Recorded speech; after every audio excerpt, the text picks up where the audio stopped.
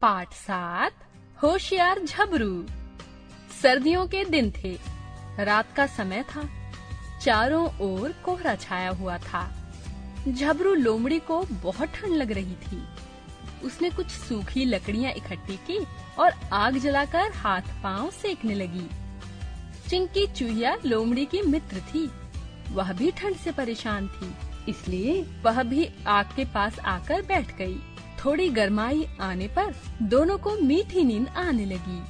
वे पास में ही लेट गए थोड़ी देर में एक बिल्ली भी वहाँ आ गई। वह भी आग से तापने का सुख लेने लगी।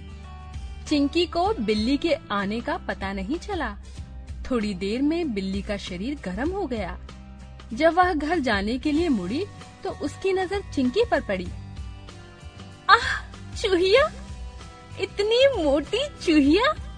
इसे मैं आग में भूनकर खाऊँगी। बिल्ली ने सोचा और अगले ही पल उसने चूहिया को दबोच लिया।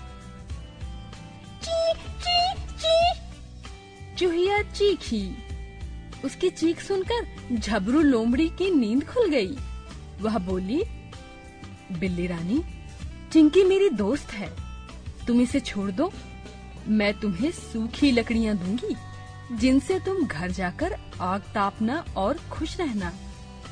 बिल्ली बोली लकड़ियाँ तो और कहीं भी मिल जाएँगी पर इतनी मोटी चूहिया तो मैं पहली बार खाऊँगी। और भुनी हुई चूहिया का तो स्वाद ही निराला होता है। मैं इसे भून कर खाऊँगी। लोमड़ी समझ गई कि इस पर भुनी हुई चूहिया खाने की जिद सवार है। वह बोली चलो ठीक है। मैं भी तुम्हारे साथ भुनी हुई चूहिया खाऊँगी।